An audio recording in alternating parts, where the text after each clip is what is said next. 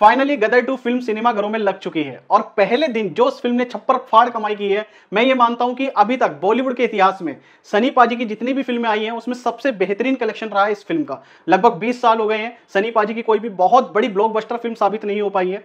अभी आज हम बिल्कुल डिटेलिंग में बात करेंगे कि गदर टू फ़िल्म अच्छी नहीं होने के बावजूद भी क्यों सक्सेसफुल होनी चाहिए और क्यों लोगों को इतनी पसंद आ रही है, क्यों लोग इतना प्यार दे रहे हैं। देखिए, सबसे पहले आज मैं बात करना चाहूँगा, इस वीकेंड तीन फ़िल्में रिलीज़ हुई हैं। एक फ़िल्म का नाम है जेलर जिसमें रजनीकांत है। दूसरी फ़िल्म का नाम है ओ माई गोड टू, जिसमें अक्षय कुमार, पंकज त्रिपाठी हैं।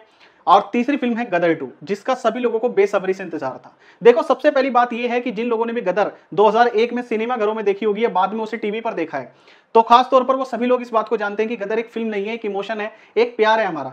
जैसे मुगले आज़म का कोई रिप्लेसमेंट नहीं है, शोले का कोई रिप्लेसमेंट नहीं है, उसी तरह से गदर का कोई रिप्लेसमेंट हो नहीं सकता।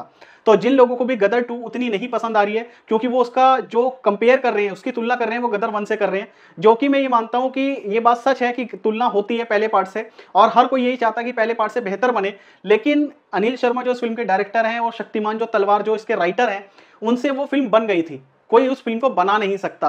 आज अगर दोबारा से कोई चाहे शोले फ़िल्म को बनाना, रमेश शिप्पी जी ने भी बहुत कोशिश की, उन्होंने शान बनाई, सागर बनाई, बहुत तमाम तमाम तरह की फ़िल्में बनाई, उससे ज़्यादा बजट की फ़िल्में बनाई, लेकिन शोले वो फिर दोबारा से बना नहीं पाए।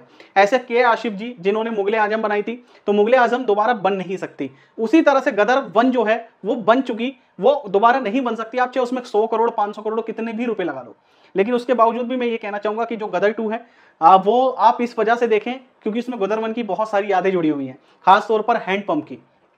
हैंड पंप का जो सीन आता है, इतनी आपको हँसी भी आएगी, इतना मज़ा भी आएगा। और इस बार तारा सिंह सिर्फ़ हैंडपंप नहीं, बहुत सारी चीज़ें आपको उखाड़ते हुए दिखाई देंगे पूरी फ़िल्म के अंदर। देखो, अगर आप स्टोरी के हिसाब से सोचोगे तो ये मैं सच कहूँगा कि सबसे कमज़ोर जो कड़ी है इस फ़िल्म की, वो इसकी कहानी है। कहानी बहुत अच्छी बन सकती थी। 1971 का उन्होंने टाइम पीरियड दिखाया है, जब पाकिस्तान, बांग्लादेश, दो देश में बट गया। तो उस पर वो बहुत कुछ अच्छा बना सकते थे। दूसरी मुझे फ़िल्म में कमी ये भी नज़र आती है कि इसके अंदर देशभक्ति एंगल नहीं है। पूरी फ़िल्म एक तरह से फैमिली ड्रामा बनकर रह गई है, जो कि बन सकती थी और मेरे हिसाब से इसे बनना चाहिए था। लेकिन इन सबके बावजूद भी मैं कहूँगा कि इस फ़िल्म को हम लोगों को देखना चाहिए सिनेमाघरों में जाकर पूरे परिवार के साथ, क्योंकि कोई वलगैरिटी नहीं है, कोई न्यूडिटी नहीं है। कोई ये फ़िल्म आप पर किसी भी तरह का मैसेज नहीं थोपती। जैसे बहुत सारी फ़िल्में आप देखते हैं, जो बहुत अच्छे अच्छे फ़िल्म मेकर हैं, वो क्या करते हैं, अपनी आइडियोलॉजी को थोपने का प्रयास करते हैं अपनी फ़िल्मों में। लेकिन यहाँ पर ऐसा कुछ नहीं है। दूसरी बात गदर वन से अगर जिन भी मुसलमान भाइयों को शिकायत रही हो कि यार कहीं ना कहीं हम लोगों को नीचे दिखाया गया है, हम लोगों को मतलब कहीं ना कहीं डाउन दिखाया है तो इस फ़िल्म में आपकी वो शिकायत पूरी तरह से दूर होने वाली है।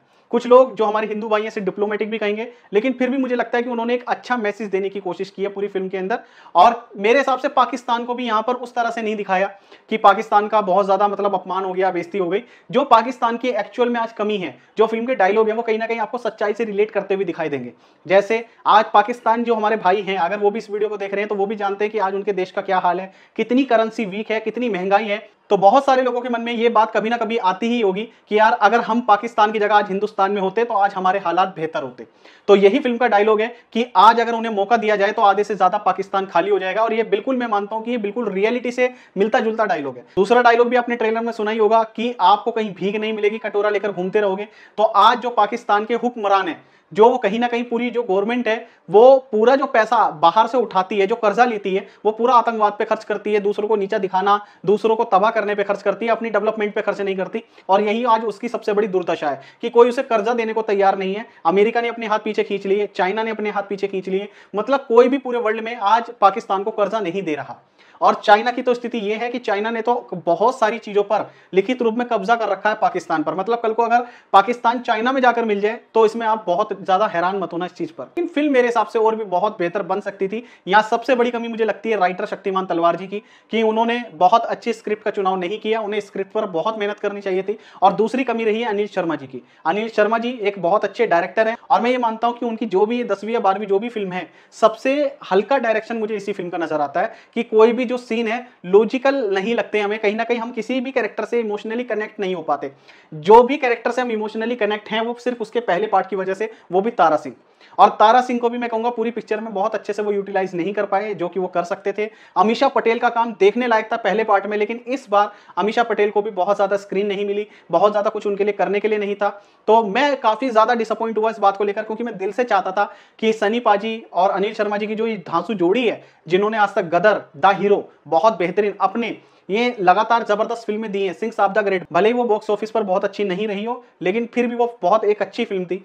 तो मैं ये कहूँगा कि सबसे हल्का जो निर्देशन है, कमज़ोर निर्देशन है, वो गदर टू रहा है। लेकिन उसके बावजूद भी हम सभी लोगों को ये फ़िल्म देखने जाना चाहिए और इस वजह से जाना चाहिए, अगर हम इन राष्ट्रवादी फ़िल्म मेकर को, इन राष्ट्रवादी हीरो को सपोर्ट नहीं करेंगे तो आने वाले टाइम में जिस तरह की लिबरल्स विचारधारा आज हम पर थोपी जा रही है, बहुत सारे बड़े बड़े डायरेक्टर चाहे यशराज हो, करण जौहर हो, जिन लोगों को हम जानते हैं कि इन लोगों को देश से कोई लेना देना नहीं है, ये सब लोग पश्चिमी सभ्यता के पीछे पागल हैं और उसी को ही अपनाते हैं, खाते हैं, पीते हैं।